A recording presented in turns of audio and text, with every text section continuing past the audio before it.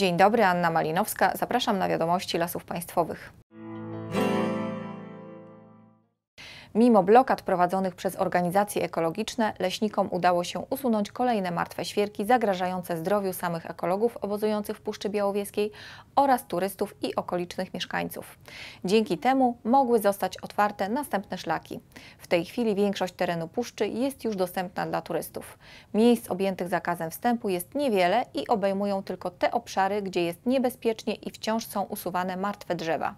Mimo starań leśników w Puszczy Białowieskiej cały czas nie można czuć się w pełni bezpiecznie.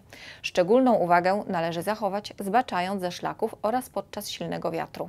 Mapa Puszczy Białowieskiej z dostępnymi obszarami znajduje się na stronie internetowej Lasów Państwowych. Kilkadziesiąt fotografii Mateusza Matysiaka ukazujących bogactwo przyrodnicze lasów Podkarpacia i Bieszczadów jest prezentowanych od 20 czerwca w budynku Sejmu.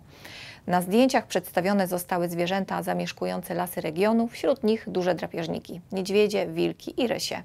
Mateusz Matysiak, przyrodnik, fotograf i filmowiec, uchwycił także gatunki, które wróciły w Bieszczady dzięki staraniom leśników. Na zdjęciach można podziwiać więc żubry czy majestatyczne orły przednie. Również to, ile jest lasów w Bieszczadach, jest wynikiem pracy leśników. Obecnie lesistość na tym terenie wynosi 70%.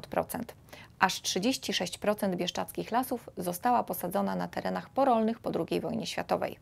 Wystawa prac Mateusza Matysiaka będzie dostępna do 26 czerwca. 20 czerwca Lasy Państwowe podpisały porozumienie z Krajowym Ośrodkiem Bilansowania i Zarządzania Emisjami.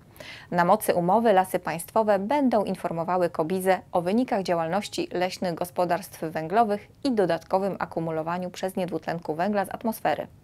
Ośrodek natomiast będzie uwzględniał wyniki leśnych gospodarstw węglowych w swoich raportach krajowych i międzynarodowych. Leśnicza z Nadleśnictwa Żednia na kilka tygodni przejęła rolę zastępczych rodziców dla trzech piskląt dzięcioła. Jeszcze nieopierzone ptaki jakiś czas temu wypadły z dziupli drzewa uszkodzonego przez silny wiatr. Pozbawione opieki dorosłych ptaków bez pomocy człowieka nie zdołałyby przetrwać nawet kilku dni. Obecnie dzięciołki mają około 4 tygodni i wykazują duże zainteresowanie otoczeniem. Uwielbiają zabawy w budowanie wieży. Pisklaki wskakują jeden na drugiego. W naturalnych warunkach dzięki takiej zabawie pisklęta mogą wyglądać z dziupli. A po więcej informacji zapraszam na stronę internetową Lasów Państwowych, nasz profil na Facebooku, a także na kanał Echa Leśne. W najnowszym odcinku Obliczy Lasów Zdobysław wyjaśnia, dlaczego w Polsce rośnie aż tyle sosny.